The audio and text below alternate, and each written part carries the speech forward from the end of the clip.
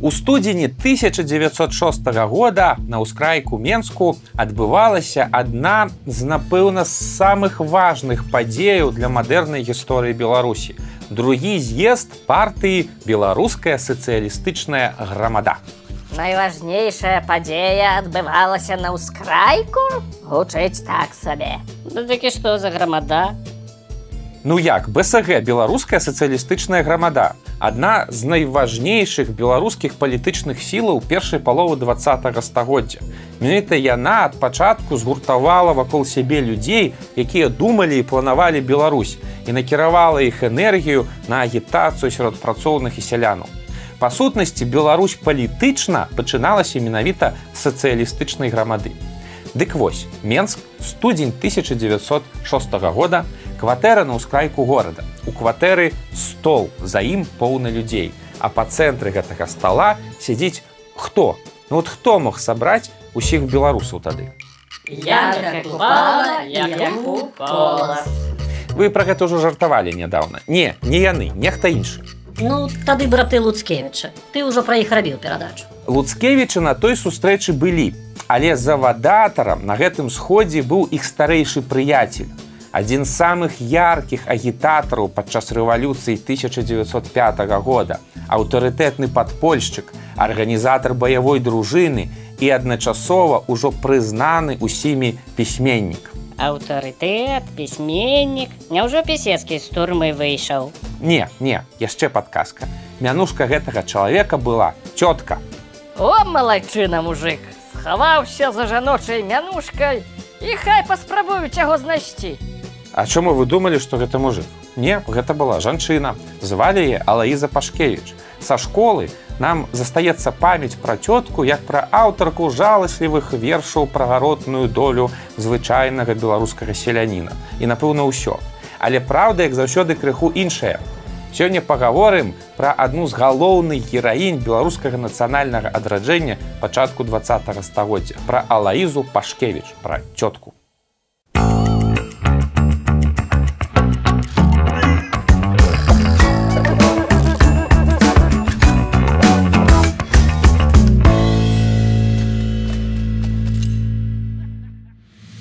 Алейза Пашкевіч нарадзілася 3 ліпеня 1876 года у вялікай шляхецкай сям'і на шчучыншчыне.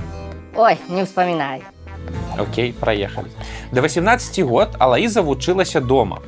Ці то з-за патрыархальнай пазіцыі сваіх бацькоў, ці то з-за слабага здароўя. І толькі ў 1894 годзе яе адправілі вучыцца ў адну з віленскіх гімназій, прычым адразу ў чацвёрты клас. Па сканчэнні гімназіі яна нейкі час працавала вясковай настаўніцы. Грошай на працяг адукацыю е проста не было. Але ў Петербургу тады была адна магчымасць атрымаць добрую адукацыю бясплатна. Называлася гэтая магчымасць курсы лесгафта. Што за люфтвафе? Гэта нейкія нямецкія авіяцыйныя курсы ці што? Да ну пра што вы? Гэта курсы, які арганізаваў вядомы расійскі біёлаг і педагог Пётр Лесгафта. Гэта былі спецыяльныя вышэйшыя курсы для жанчын, выхавальніц і кіраўніц фізічнай адукацыі. І яны, што важна, былі бясплатныя. Ну так рашыў лізгафт. І Алаеза паехала вучыцца ў піцер. У Петербургу Алаіза пасялілася ў пакоі разам з сабінай Ячыноўскай, нявестай Васлава Івановскага, які быў земляком і сябрам дзяцінства Алаізы. Яны разам выраслі на шчучыншчыне. Вось жа Васлав Івановскі на той момант студэнт петербургскага універсітэта збіраў вакол сябе першы ў піцеры беларускі студэнцкі гурток, Таму што гарэў ідэі Беларусі яшчэ з дзяцінства. І Алаіза з галавой сышла ў беларускія не зусім легальныя справы. Мы ведаем, што яшчэ ў школе яна называла сябе беларускай, а значыцца гэтая тэма была ёй блізкая з юнацтва. У тым жа 1902 годзе ў піцер прыехалі яшчэ і браты Луцкевічы, якіх мы нядаўна рассказывалі. І ў расійскай сталіцы беларуская справа агулам закруцілася вельмі актыўна. Спачатку студэнты ўтварылі круг беларускай народнай прасветы і культуры, суполку, якая мусіла пашыраць беларускую культуру. Пачакай, а чаму круг? Чаму не квадрат? Ці не паралелі піпет беларускай народнай прасветы? Ну прыгожа канешне гучыць, але прынята было так называць такія аб'яднанні словам круг як аб'яднанне. круг займаўся культурай пашырэннем беларускай культуры. Але апроч гэтага моладзь паспрабавала ў тым жа годзе стварыць яшчэ і першую беларускую партыю якая спачатку мела назву беларуская рэвалюцыйная партыя Ну так плач жа скрыпка Мо паны пачуюць як хамы без хлеба без страхі начуюць. І зацяў музыка смыкам ды па струнах. Пташки задрыжэлі пчолы сціхлі ў вуллях. Музыкант галосіць скрыпка не махлюе. Хутка хамскую песню сенек свет пачуе За сваёй запозненай адукацыяй Алаіза аказалася адной з самых старэйшых ва ўсёй гэтай грамадзе. Яна была старэйшай за Івановскага на чатыры гады, старэйшай за Івана Луцкевіча на 5 год. Ну і па жыццёвым вопыце. Яна паспела зведаць нястачу, паспела папрацаваць на сапраўднай працы. Яна працавала з дзецьмі. Ну і агулам яна заўсёды была стрыманая, вельмі сур'ёзная, грунтоўная і заўсёды па справе. Магчыма, менавіта з-за гэтай крыху большай сур'ёзнасці і старэйшасці Івановскі даў ёй тады такую мянушку цётка. Вось дык прям розніца 4-5 гадоў А яны яе ўжо цёткай называлі фу такімі быць Вось жа дзеяджысты. Ну слухайце, у студэнцтве все-таки розніца ў 4 гады адчуваецца. І пасля тое, што мянушку цётцы прыдумаў Івановскі менавіта тады гэта толькі адна з версій, ёсць іншая. Адна з самых заўважных спраў таварыства таго часу это выданне двух зборнікаў твораў беларускіх паэтаў. Калядная пісанка на 1904 год і адпаведна велікодная пісанка. Гэта былі часы, калі беларускіх паэтаў было яшчэ вобмаль. Таму ў зборніку былі вершы карусяка ганца, янкі лучыны і амаль палова твораў гэта вершы самой цёткі. Яна, дарэчы, там падпісвалася з большага мужчынскімі мянушкамі. Апроч гэтага Пашкевіч актыўна ўдзельнічала ў палітычных абмеркаваннях, рыхтавала першую партыйную газету свабода, пісала артыкулы, ну і паспявала яшчэ вучыцца. Курс лізгафта ніхто не адмяняў. І тут раптам прыйшоў 1905 год і грымнула агульная расійская рэвалюцыя. Цётка паехала ў вільню, каб весці там агітацыю наўпрост сярод беларускіх рабочых і сялянаў будучая нарачоная Івана Луцкевіча Юліяна Менка пазней узгадвала. І вось на адным мітынгу я ў прамоўцы пазнала Алаізу пашкевічанку, якую я ўжо колькі год не спатыкала. Як яна змянілася. Я ж яе знала, як мала гаваркую, спакойную, а тут перад намі была аратарка, якая з вялікай сілай і перакананнем усім сваім сэрцам будзіла ў слухачоў запал, любасць да прыгнечанага рабочага люду і беларускага сялянства, за вызваленне і лепшую долю якога трэба ахвяраваць усе свае сілы і жыццё. Вось так былая настаўніца, студэнтка і масажыстка стала прамаўляць на шматлікіх вялізных мітынгах перад рабочымі сялянамі і казала яна з такім імпэтам, з такім натхненнем, што ў хуткім часе стала адной з любімых агітатарак віленскіх рабочых. Нешта я прапусціў. А адкуль з'явілася масажыстка? А правда, я ж не расказаў. Ну масаж гэта была адна з прафесій, якой навучалі на тых самых курсах лізгафта. Вельмі папулярная, модная і новая прафесія таго часу. Вось жа Пашкевіч на тых мітынгах не толькі прамаўляла. На той момант яна працавала ў бальніцы ў вільні на ўскрайку горада. Вось у гэтай бальніцы яна хавала рэвалюцыянераў ад ахранкі і нават здолела арганізаваць баявую брыгаду, якая ў выпадку чаго мусіла ўступіць у бой з царызмам. А яшчэ ў гэты год цётка піша, як на маю думку, ці не найлепшыя свае вершы. Вось паслухайце, напэўна, як прыгожа яна апісвае рэвалюцыю. Не такое цяпер мора!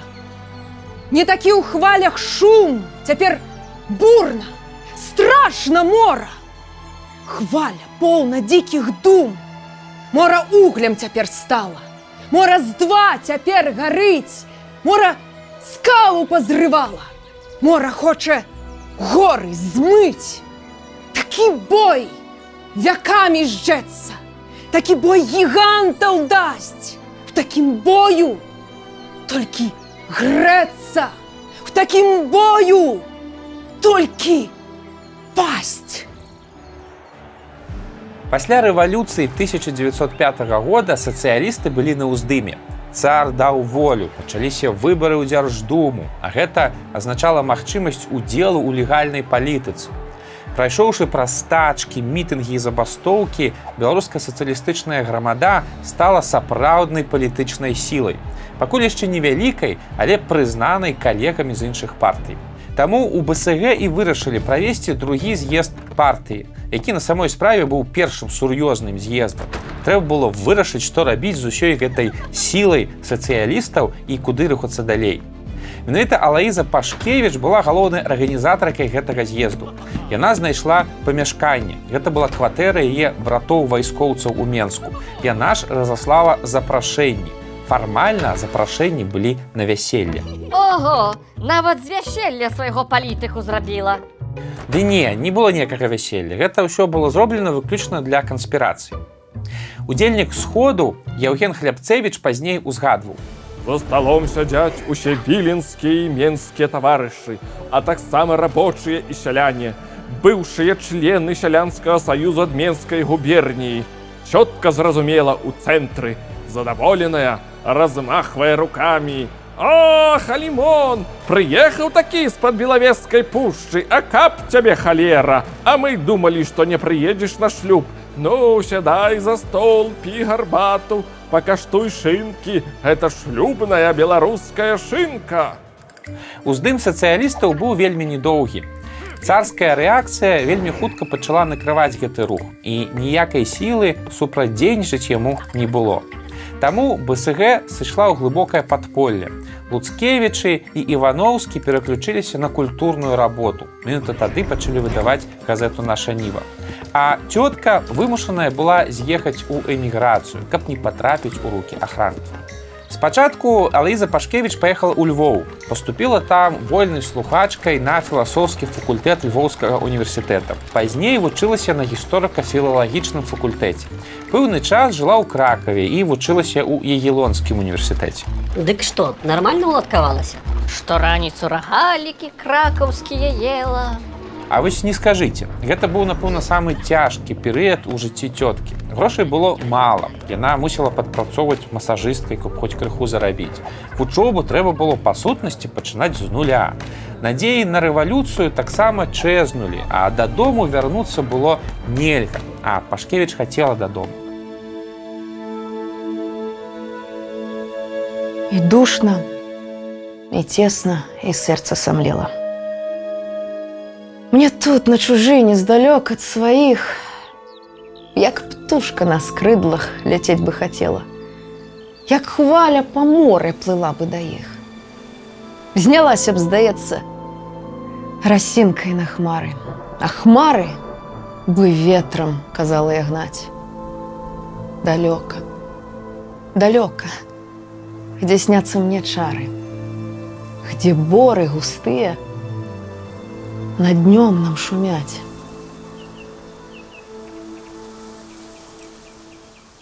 Але туга па радзіме не абазначала, што Пашкевіч сядзела без справы. Яна пісала шматлікія артыкулы, у тым ліку ў нашу ніву, кансультавала украінскіх калегаў па розных беларускіх пытаннях, а самае галоўнае знайшла да сябе новае захапленне батлейку. У тыя часы лялечныя тэатры пачалі ўжо знікаць і Элаіза Пашкевіч паставіла перад сабой мэту захаваць гэтую з'яву. Яна даследавала, збірала інфармацыю, пісала навуковыя артыкулы і, што самае важнае, сама пачала аднаўляць гэту традыцыю. У 1912 годзе ў цёткі з'явіўся шанец вярнуцца на радзіму. Яна пабралася шлюбам са старым сябрам і калегам па рэвалюцыйным руху сцяпанісам кайрысам, літоўскім грамадскім дзеячом, які пазней стане віцэ-спікерам сойма літоўскай рэспублікі. І апроч відавочнай радасці гэты шлюб прынёс яшчэ адну. У цёткі памянялася прозвішча. Яна змагла спакойна вярнуцца дадому.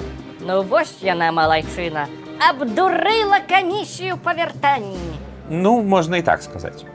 У вільні цётка зноўку бярэцца за справу, стварае некалькі беларускіх школак на віленшчыне, грае ў тэатры буйніцкага, удзельнічае ў шматлікіх мерапрыемствах, а яшчэ закладае і становіцца галоўнай рэдактаркай першага беларускага дзіцячага часопіса. Ён называўся лучынка.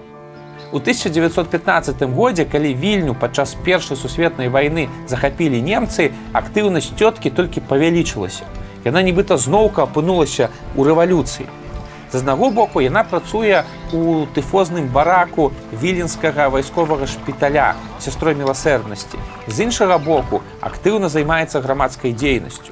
Алейза Пашкевіч тады адкрывае новыя школы, піша артыкулы. Яна адна з заснавальніц настаўніцкіх курсаў на віленшчыне. І агулам робіць вельмі шмат. Вайна, якая прыносіла вельмі шмат болю, у той жа час давала надзею для нацыянальных рухаў гэтага рэгіёну і гэтым трэба было скарыстацца. У 1916 годзе у Алаізы ад тыфу памёр бацька.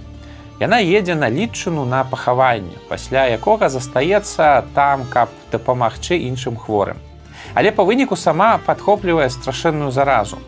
Памерла цётка 5 лютага 1916 года і была пахаваная там жа на радзіме.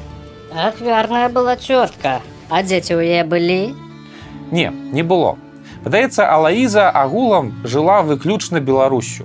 Яна не думала ні пра дабрабыт, ні пра дзяцей. Яна жыла Беларусю яшчэ тады, калі не ўсе беларусы ведалі пра існаванне гэтай краіны. І ў пачатку два стагоддзя гэтае гарэнне аднаго чалавека было вельмі вельмі важнай справай. Вось уявіце, вы працоўны нейкага віленскага завода у пачатку два стагоддзя без правоў, без роду, без племені і невысокая чарнявая жанчына з трыбуны простай мовай прамаўляе вам такое. Веру, братцы, в нашу силу, веру в воли нашей гард. Мы не с гипсу, мы с каменья, мы с железа, мы со стали. Нас ковали у пламенника, мацнейшими мы стали. Теперь, братцы, мы с граниту, душа наша с динамиту, рука тверда, грудь окута, пора, братцы, порвать пута.